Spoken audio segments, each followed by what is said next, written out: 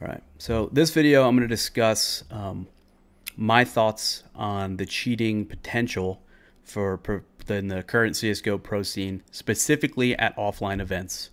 I get asked the question, do I think there are pros cheating um, in the scene today at the at these these offline events? And my answer is I have no idea if they are or not, but I 100% believe that they could be. And I'm going to go over a couple things that get discussed frequently um, as potential methods or techniques that could be used to prevent it. I'll outline a little bit of the issues with some of those solutions and uh, discuss generally how the events operate. It's important that you understand my background outside of the game has has been for a very long time the technology space. I've worked with a lot of companies, a lot in the security space. I've got a very strong understanding of computer science. I am not a programmer, but I understand all the concepts and the techniques um, that can be used and leveraged to allow a player to cheat in these type of events. so with that said, um, I'm going to set up a little bit of to give you an understanding how these events operate, and then we're going to go through a couple things that I think are really important to address um, as part of a, a strategy where you're putting up. It's in the security space. It's called defense in depth, and it essentially means you're putting up as many obstacles as you possibly can to the person who's attempting to cheat and the idea being that maybe their their software is so good that it can get past the first eight obstacles, but it can't get past the last two, then you're successful in preventing that person from cheating. So a lot of the things I'm going to talk about, it's going to sound like I'm dumping on them because they're not as effective as people think they are, but they should still be used, and I think it's important that that people understand that when watching this video. So when you go to these events, uh, I think all of them nowadays are using solid state drives. You're given a practice computer where you can warm up, practice, deathmatch, that kind of thing. And on that computer is where you set up your solid state drives. The solid state drive has a base Windows image on it. You connect it gets plugged into your computer generally by the admin and then from there you set your config set your resolution all those kind of things install any drivers that you need for your hardware get all your stuff set up tested make sure everything works and then that solid state drive is what they take out of the practice computer and bring to the match computer when it's time to play your matches it's important to understand this process because generally you do not have internet access on the match computer. A lot of times you do on the practice computer. In a lot of situations, that internet access gets restricted, but that doesn't always solve the, the issues that internet access can can create. If you think back to the KQLY situation and, and how that whole thing happened and got detected, um, and his, there's been other examples of this occurring, some of the cheats were being passed through Steam's workshop and on and maps that you could download from the Steam workshop. So even if internet access was restricted to only Steam and Valve functions, people could still get their cheats. And this is why having any internet access is really, really risky. The other thing is some software, specifically the Razer Synapse driver suite, requires internet access to log in. So even if you don't have internet access, it almost always gets provided to one or two people on a team that require that for their driver software to be installed. Now, during this process, there's usually one admin, one per team. Very unlikely that that one admin can spectate all five players at the same time from behind the players, where the players can, you know, like move up close to their monitor and their, their chairs are going to block a lot of that the viewpoint that an admin would have. The admin could get distracted in talking to a coach or a player or you know a peer if there's one in the room. Just not as much observation and scrutiny on this this process as there there could and should be. So that's the first thing. Um, internet access shouldn't shouldn't be provided, and it's difficult to make these events happen without it. But it's something that needs to be explored as far as pos- as far as it possibly can to the point of not providing any internet access for the entire event. Very difficult to do because you need it to log in, you need it for authentication and those kinds of things. Um, but it's something that should be pushed as far as possible. The next next point that comes up an awful lot is um, the restriction for USB storage devices, and I saw tweets about this today. This is something that should be done, but it's very easy to bypass. And so what this what this restriction is is usually it's implemented via Windows security policy that says if somebody plugs in a USB storage device, do not allow them access to it. So Windows will prevent that from happening. So you can't walk up with a thumb drive, plug it into the computer, open up your configs, download your configs, your maps, and then if you're malicious, you're cheating software. That's the intent of this policy.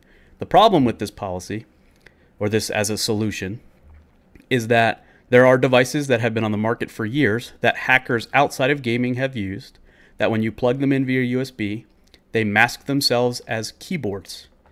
And the reason they do this is that when you if you think about what happens when you plug a keyboard into your computer, Windows instantly recognizes it and allows you to type on it. And there's one product in particular that I won't name that allows you to plug it plug in a USB device. Again, it masks itself as a keyboard and it allows you a scripting platform that you can then execute software from. So if anyone tells you like, "Oh, you can't you couldn't inject cheats via USB because we we block storage devices." They're wrong. Um, they've been wrong for a very long time. And again, it's still something that should be used but it's something that can be bypassed, and people need to be aware that that's something that can be bypassed. Um, the next point, um, something that comes up a fair a fair amount, is the use of anti-cheat clients at LAN events. Not always being done.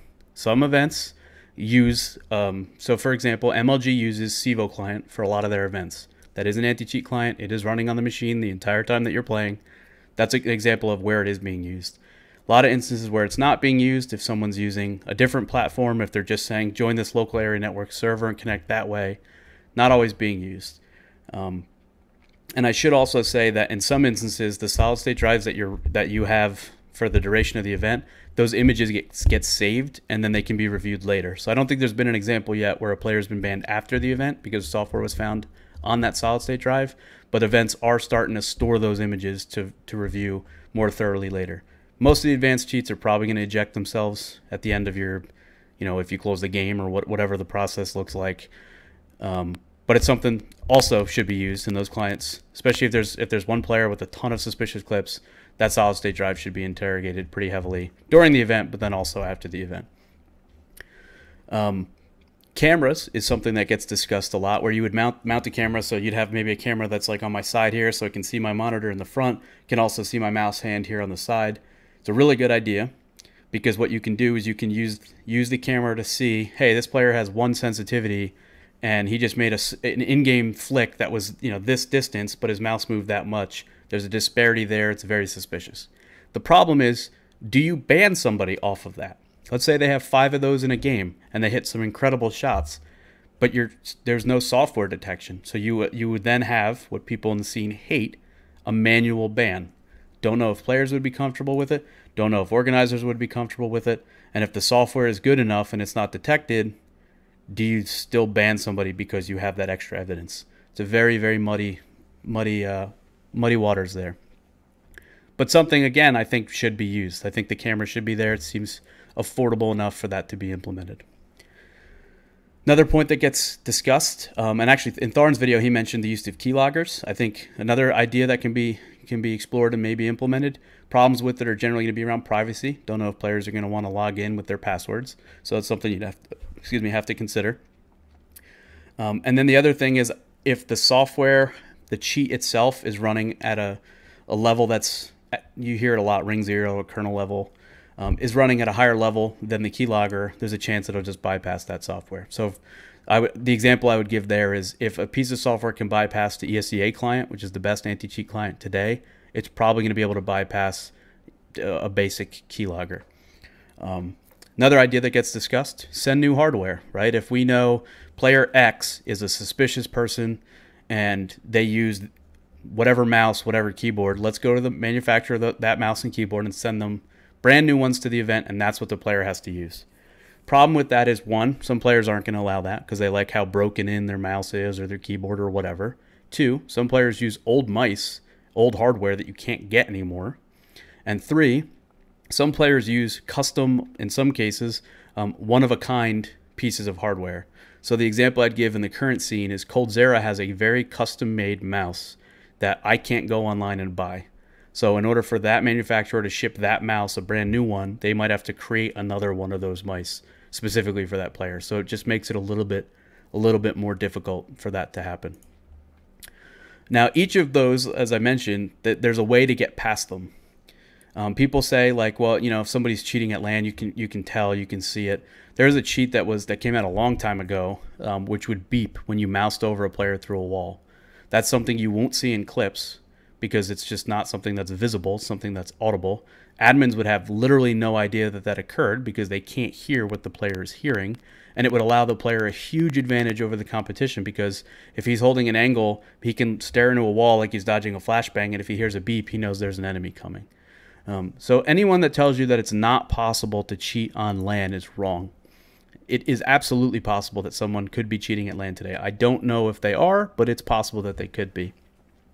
And then I think lastly, um, on the same conversation of sending new hardware, the intent, and I, I, didn't go over it and I probably should have, the intent of sending new hardware is to eliminate the potential that a player has in the hardware they have embedded whatever technology necessary to inject their cheat. So, for example, it would basically be like if I took my mouse and I opened it up and I put in this device that masks itself like it's a keyboard to execute commands and then closed up my mouse. When I plug my mouse in, it's completely innocent looking. I plugged in my mouse, I plug in my hardware, everything's great, except from my mouse, software is then injected, and now I have an advantage and I can cheat um, on LAN with no one knowing and that's what sending new hardware would help bypass. There are people that don't think. I saw some tweets today where someone said um, that it's like extremely difficult or can be easily prevented. It's it's not that easy. You know, you can store I think maybe half a terabyte of data on a, on a piece of uh, hardware that's like the size of your thumbnail. It's not something that's super easy, and I don't think a lot of events are sitting there in the period between when the players get there set up and when they play that are actually like opening up keyboards and mice to explore and see if they're you know if the hardware is modified in any way. So it's definitely something that's not difficult to do. It's definitely something that's doable and been done before. Um, and anyone that tells you otherwise is just wrong. And I think I think that's it. Now I I don't know if there again. I would love. I hope this conversation continues. I imagine this will probably end up on Reddit. It'll definitely be on YouTube here shortly. It's a conversation I think that needs to continue. Um, I do watch a lot of these clips. I think that they're important that people don't turn a blind eye to because we all want a game that's clean and pure, um, where skill is being used to win matches, not software.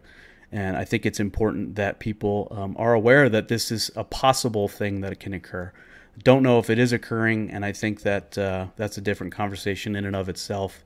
Just not one that I, I'm prepared to have because I, I think that without having more um, evidence and the ability to interrogate certain pieces of hardware that players are using and stuff, you, you really can't uh, you can't determine that. And unfortunately, I think when you when you have cheaters, the way I look at it, so the way a lot of the cheats work is they're they're very similar to malware in that they're constantly evolving, they change, they they morph after installation, so it makes it that much more difficult to, to detect. And the battle between cheat and anti-cheat excuse me, is always going to be one guy building a wall and the other guy building a bigger ladder. It's just the nature of the game. I don't think Valve has done a very good job. I think they've been better recently with Valve anti cheat, but we've seen before where Valve's own systems were being leveraged to distribute cheats and they weren't detected by Valve themselves. so when you have something like a potential camera solution that can detect or can catch very suspicious things and provide more evidence, you'd have to have a very difficult conversation of do you feel comfortable having a manual ban? And I think for a lot of people that they're just not comfortable with that, and understandably so.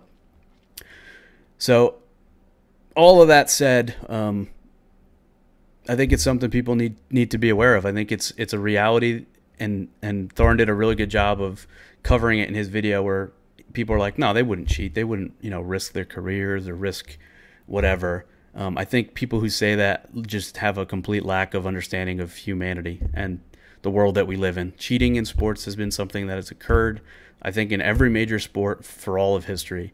Um, it's not something that's going to stop. So until a game like CS:GO can be completely operated from server side, where there's there's no ability for the clients themselves to modify or change anything, um, we're going to continue to have this conversation and issues like this. Um, I think every method possible should be used to prevent this. I'm a big fan of a defense in depth strategy when it comes to security in general, but specifically to cheating in esports and in a game like CSGO. And hopefully, having a little bit more awareness, a little bit more information, maybe helps somebody come up with a great idea. Definitely a market for a, a solution that can help solve this problem. And um, love to continue this conversation and appreciate you guys watching.